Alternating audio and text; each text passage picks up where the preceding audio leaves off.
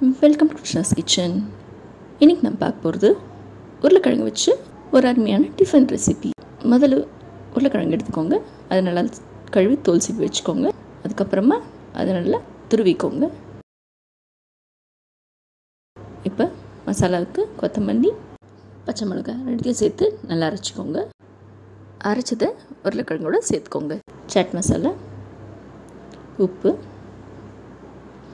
அப்புறம் கோதுமை மாவு ஒரு டம்ளர் கோதுமை மாவுக்கு ஒரு டம்ளர் தண்ணி விட்டால் சரியாக இருக்கும். நல்லா தோசை பதத்துக்கு கரைச்சிக்கோங்க. இப்போ தோசை தவாவில் நல்லா காய விடுங்க. இப்போ மாவு தோசை தவாவில் போட்டுடுங்க.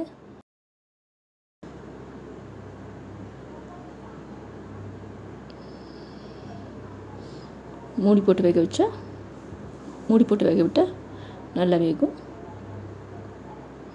ரெண்டு சைடும் நல்லா திருப்பி போட்டு வேக விடுங்க.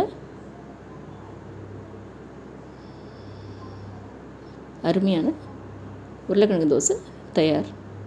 தேங்க்ஸ் ஃபார் வாட்சிங் இந்த வீடியோ உங்களுக்கு பிடிச்சிருந்தா லைக் பண்ணுங்கள் ஷேர் பண்ணுங்கள் மறக்காமல் கமெண்ட் பண்ணுங்கள்